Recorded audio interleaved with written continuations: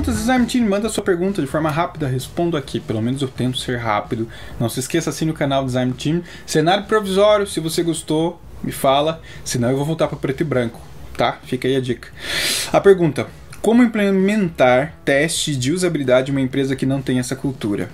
Ótimo pergunta. Eu vivi isso e como que eu fiz? Eu implementei.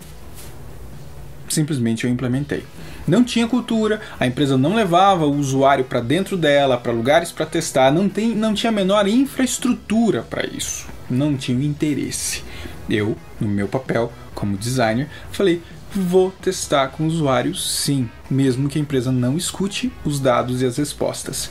Levava o usuário para dentro da empresa, coletava o usuário no Facebook através de contato do contato do contato, ia numa cafeteria, comprava um, um café para a pessoa, um bônus, um gift card no meu bolso, encontrava a pessoa na empresa e testava.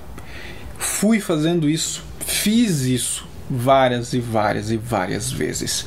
E sempre entregava os dados e as respostas para os líderes, para os diretores, para os gerentes, mostrando como que o usuário respondia aquilo.